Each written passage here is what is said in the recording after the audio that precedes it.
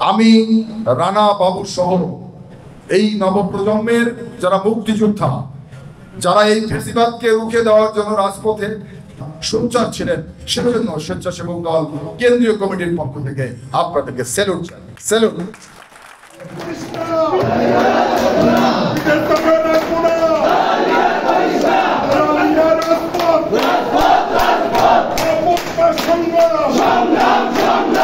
একসাথে জেল কেটেছি এবং দেখেছি জেলের মধ্যে থেকেও নেতাকর্মীদের খোঁজ খবর রাখা, সংগঠনকে গতিশীল রাখার জন্য যে আপ্রাণ চেষ্টা, এই জন্য বাংলাদেশ জাতীয়তাবাদী স্বেচ্ছাসেবক দল কেন্দ্রীয় নেতৃবৃন্দকে আমরা ধন্যবাদ জানাতে চাই।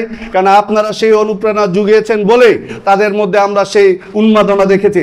তাই আগামী দিনে আন্দোলন সংগ্রামে মহানগর স্বেচ্ছাসেবক দল যেরকম পারফরমেন্স দেখিয়েছে। সে অনুযায়ী তাদেরকে আরও সুসংগঠিত করার জন্য সবসময় যেভাবে পরামর্শ দিয়েছেন, সেভাবেই দিবেন, সেটাই আমাদের প্রত্যাশা। তারা কেউ ওমরান নাম করে বাবা চিকিৎসা বলে ইন্ডিয়া যে শরীফ ইন্ডিয়া যায় নাই। তারা সব আমার পাশে ছিল। আমি আসলে আজকের এই এই যে ফসল, স্বেচ্ছাসেবক দলের যে গুণগান, এটা আসলে তাদেরই ফসল। এটা আমার একার না। এবং আমরা স্যার জাতীয় দল কোনো একটা প্রোগ্রাম চিপাই চাপাই করি নাই।